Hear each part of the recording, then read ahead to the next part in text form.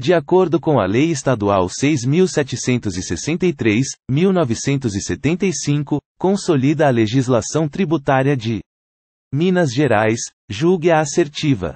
A receita proveniente da arrecadação da taxa de licenciamento para uso ou ocupação da faixa de domínio das rodovias, TFDR, fica vinculada ao Fundo Estadual de Desenvolvimento de Transportes, FUNTRANS, gerido pelo DER Minas Gerais, especialmente para custear o exercício do poder de polícia.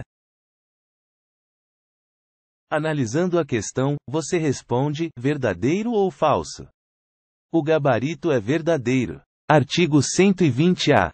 Parágrafo 2. A receita proveniente da arrecadação da TFDR fica vinculada ao Fundo Estadual de Desenvolvimento de Transportes, FUNTRANS, gerido pelo DER Minas Gerais, especialmente para custear o exercício do poder de polícia a que se refere.